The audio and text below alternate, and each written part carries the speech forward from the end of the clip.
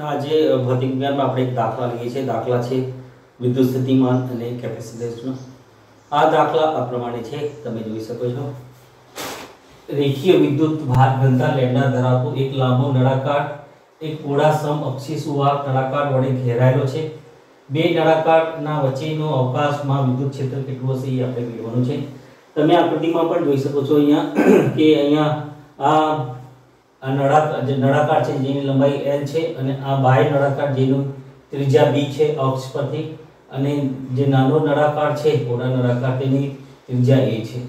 હવે આપણે અહીંયા જે તમે જોઈ શકો છો કે આ ગૌસિયન જે નળાકાર દોરવામાં આવ્યું છે, જેની ત્રિજ્યા r છે અને p બિંદુ આગળ. P બિંદુ આગળ આપણે એનું વિદ્યુત ક્ષેત્ર મેળવવાનું છે. અને તમે જોઈ શકો છો કે અહીંયા આ જે ગૌસિયન નળાકાર છે તેની ત્રિજ્યા r છે અને ફિલ્ડ જે છે, વિદ્યુત ક્ષેત્ર છે એ કેન્દ્ર તરફ હોય છે અને અક્ષની તરફ હોય છે. અને જે આપણે જે અહીંયા જે r જે ત્રિજ્યા છે એ કેન્દ્રથી બહારની તરફ હોય છે. તો આપણે જાણીએ છીએ અહીંયા કે જે આપેલું છે કે l છે એ ગ્રેટર ગ્રેટર ધેન a અને b. તો ગૌસના ગૌસના, ના નિયમ પરથી E into A બરાબર Q ના છેદમાં એપ્સિલોન 0 હવે તમે જોઈ શકો છો કે E A એટલે આ જે પૂર્ણ નળાકાર છે, તેનું જે ક્ષેત્રફળ છે 2 પાઈ r l બરાબર, આપણે જાણીએ છીએ, લેમ્ડા બરાબર q ના છેદમાં l એટલે ક્યુ બરાબર લેમડા ઇન્ટુ એલ અને કિંમત અહીંયા મૂકી દેતા. એટલે લેમડા ઇન્ટુ એલના છેદમાં એપ્સિલોન ઝીરો આ એલથી l કેન્સલ થઈ ગયા એટલે ઈ બરાબર 1 ના છેદમાં બે પાઈ એપ્સિલોન ઝીરો અને લેમડાના છેદમાં આર આ સમીકરણ 1 હવે આપણે અહીંયા ગોસિયન નળાકાર દોરવામાં આવે છે અને આ ગોસિયન નળાકારની ત્રિજ્યા આર છે જે જે એમ કહી શકાય છે કે a less than r less than b છે. જે નળાકાર a અને b વચ્ચેની જે અવકાશ હોય તેના વચ્ચે છે, તો તે p બિંદુ આગળ આપણે એને જે ક્ષેત્ર છે આપણે પ્રાપ્ત કર્યું. આપણે જાણીએ છીએ કે એ બિંદુ આગળ આ બંને નળાકારના લીધે ઉદ્ભવતું વિદ્યુત સ્થિતિમાન વિદ્યુત સ્થિતિમાન v બરાબર ઓછા a to b e into dr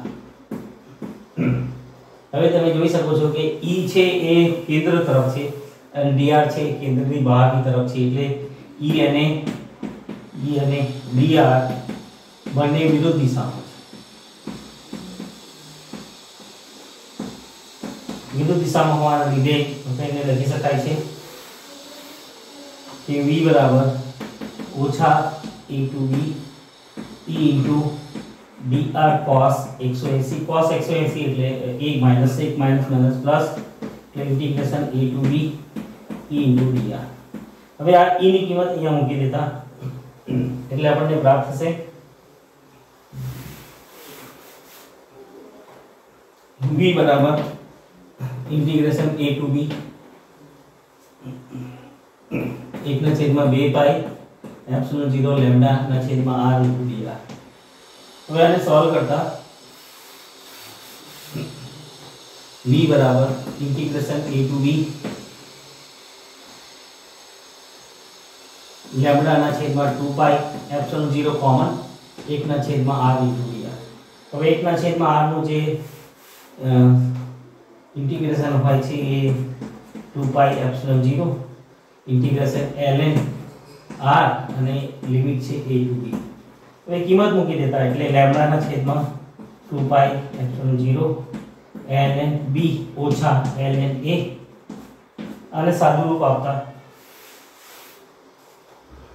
એટલે v બરાબર લેમ્ડા ના છેદમાં 2 પાઈ એપ્સિલોન 0 ln b ના છેદમાં.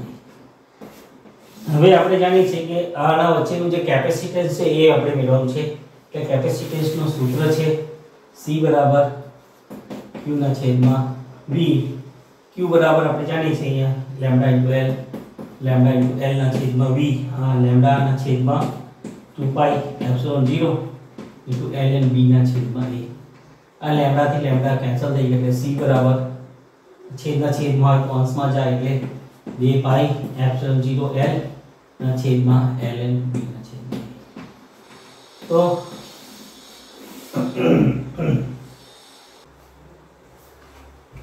તો આ રીતે આપણે આ દાખલાને સોલ્વ કરી શકાય છે. આ દાખલામાં આપણે જાણીએ છીએ કે જે પોળા નળાકાર છે બી અને એ બી ગ્રેટર દેન એ છે અને એ બંનેનું અક્ષર એક જ છે.